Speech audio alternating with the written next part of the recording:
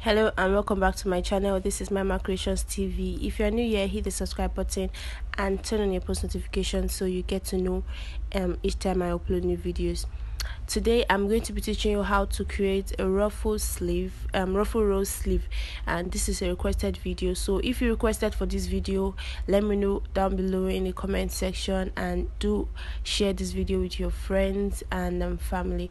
So um the materials i need are these and this is horsehair braid popularly known as crinoline so um it's very important you put this um with your rose so the tip is going to be firm and it's going to give you that flounce you want.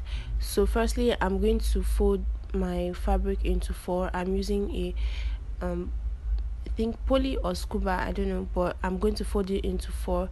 You can use any fabric that is thick enough for you. So I folded into four and I'm just going to measure what I have here and also measure same thing at other part. So I have 10 here and I also measure 10 at the other side and also 10 at the center. So from that point I'm going to be measuring 4.5 so I want the um, wideness of this to be 4.5 remember this um, is just a small rose ruffle rose. I'm not going to make that big one like what i did here. So i'm going to make this really small. But if you want yours to be big you can um increase what you have here. As you can see my fabric is not really enough so i just i'm just going to make a very small rose so i measured 4.5 inches and this is it. So i'm going to cut out the facing. I'm making use of same fabric for the facing.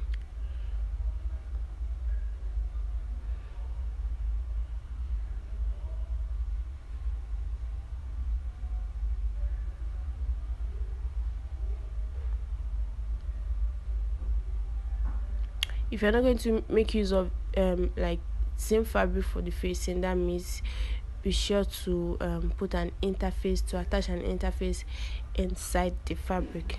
So at this point i'm going to be attaching my i'm going to be attaching my crinoline to it and um, i'm going to be pulling it a bit while attaching it. So um, this is what i'm going to be doing. Now i've attached my crinoline to it and i've ironed it so as you can see that there are no bulging um, no budges all around. It's very flat and smooth. So make sure yours is as neat as this. So now i'm going to be turning the facing. I'm going to be um, attaching the facing to it. Then i'm going to place it on the right side. I'm placing it on the right side of my fabric so once i've done that i'm going to iron it out and um, iron it very flatly. So it's not easy to iron um this particular fabric. So you have to sprinkle some water if you're not using a steam iron. If you're using a steam iron you still have to sprinkle some water though. So this is what i've done. And i'm cutting out the excess i have here because i don't need it anymore so now i'm going to turn this over and um, stitch this part down and I'm also going to do that with the other part too. So once I've done that I'm going to open it out back and stitch this part too. So as you can see I've done that I've stitched it and it's time to be creative. You don't have to follow my method of um, creating this ruffle you can do yours and um, whatever result you are getting will be fine. Just be creative and make sure you don't have those um these parts that is let's say naked. Make sure you don't have it at the outer part of your rose. Just try to tuck it in and um, hide it. Do you understand? So that's just how i'm going to be doing it so guys enjoy and make sure to subscribe to my channel after watching this video. Hit the subscribe button right now and turn on the notification bell. Share this video and leave me a comment down below.